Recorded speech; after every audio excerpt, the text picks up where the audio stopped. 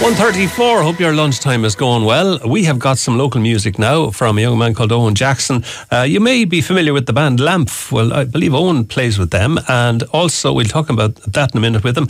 Uh, first of all, though, Best of Life is a song he wrote way back when he was uh, much younger, when he was about 18, and it's all about a very personal subject. But he's entered it into the Home Composed Song Contest this year, uh, representing Ireland. In fact, it's an interesting contest. We'll ask Eoin about that as well in a moment. Let's have a listen to the song first of all, though. This is a little excerpt from the song. It's called Best of Life.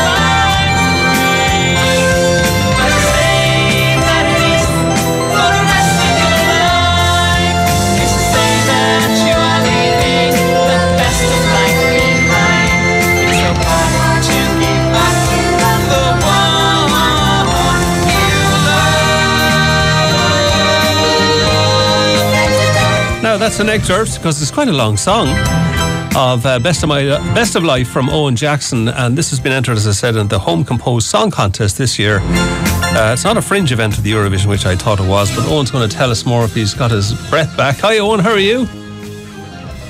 Just today. I just ran up a flight of stairs. Probably not the best idea before talking. No, we used, so, yeah. to, we used to have that uh, problem. Yeah, we used to have that problem with the newsreaders in here sometimes. And uh, when we were up, there was a flight of stairs between the newsroom and the newsread room, and it was interesting. Anyway, it's great to talk to you because, um, first of all, give us a little bit of a potted history on the Home Composed Song Contest. It's going 30 years, you were telling me. Yeah, it celebrated its 30th anniversary in 2021. Um, a man called Morten from Denmark he he set it up with some friends of his, really from around Europe. From it's based on the Eurovision Song Contest. Yeah. And Morten ra- wrote his own songs, and always wanted to do something with them. So he set up a contest and invited some people he knew from the Eurovision fandom yeah. uh, to, if they wrote the songs, to contribute. So it's grown from there and it's still going now 31 years later. We were actually the first ever entrant from Ireland in it. So for this, cool. this year. Oh, that's great. And did you find out about that yeah. through sort of Eurovision literature, or, or is it fa- fairly well known? I can't say I've heard of myself. Yeah, no, it's it's. I don't think it's massively well known, even yeah. though it is like if you're looking at international song contests, it's the longest running one after Eurovision itself. Okay. And so who, who are the judges? momentum for, for itself. That, that's great. And who are the um, who are the judges? I know there's a phone element because you want people to help with that. But uh, who judges is, it? How does that work? Um, the people who are in it themselves um, vote on the other entries and they make up juries Eurovision style, giving the voting from one point up to 12 points. Right. Um, there's also invited guest juries from the world of Eurovision, like certain um, Eurovision blogs and uh, the, the, Eurovision official radio station. They have a jury, and a few other kind of like music business professionals make up uh, guest juries as well. And then there's like uh, one, there's a public vote. Yeah. But the public vote only makes up one of around 40 juries. So it doesn't have a huge amount of weight. It's mainly, I think, a way for them to promote the contest a bit, I think is mm. the hmm. main point of the public vote. And the way they do it is there's a link where you can vote for whatever songs you want, as many as you want, and you're allowed to vote once a day for a couple of weeks. And the, the voting deadline for this one ends on Halloween. Okay. And tell me about Lamph, Eoin. You're still going strong, yeah? I, I wouldn't necessarily say strong, but we're definitely still going. Like we had done a few bits and pieces over the years. Um, uh, notably uh, a song for, for the Déise, kind of a mix of Sweet Child of Mine and kind of some roaring and shouting, which uh, went down quite well. Everybody had a song, in, yeah. yeah, yeah, yeah, yeah. It was like uh, in 2017 there was our one and there was I think John Stack was another man who had a, a Harlem right. sound that was quite popular. And, you know, you have to get into the spirit of things. So that's one thing that people might know us from is that.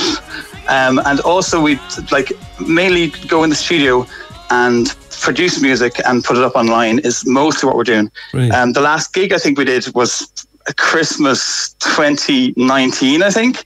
So it's been a while since we actually had an in-person gig. But the thing about it is, Clodagh, who is one of the driving forces of the band, she's like writes the songs herself and myself write it. Uh, she now has four kids, all under the age of seven. Really? My God, I didn't know So, that. yeah, she does. Yeah, she, she's been busy. Oh, that's lovely. So, I mean, that's Clodagh's voice as well on your song, isn't it? It is, yeah. That's that's Clodagh myself and my uh, Michelle, another sister of mine, doing the vocals on that track. Good. And um, it's a very personal song for you, that one, isn't it, Eoin?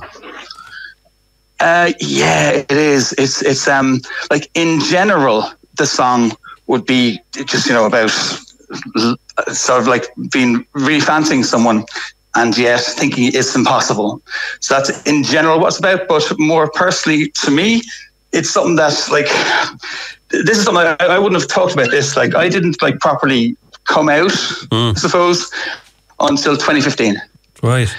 and this song in, in 1993 uh, it was pretty much about like I was in school at the time Waterpark and there was this other boy in the school who I was kind of just obsessed with and that song is about just living in like Ireland in the early 90s and the way the atmosphere was as around like gay was just considered you're going to you know? So that's I was wrestling That's with the kind of feelings of of whether you know what how, how my life was going to end out and should i just deny these feelings for the sake of you know um not being a sinner or not being an outcast or you know Yeah. so this was kind of Keeping your head down. at the time and there wasn't really much support or positivity at, in those days about it Things have changed a lot, Eoin, haven't they? and like they have indeed yeah I, I mean like basically this is something I couldn't have mentioned what this song was about back then. Like I pretty much kept that secret, um, mostly uh, at the time.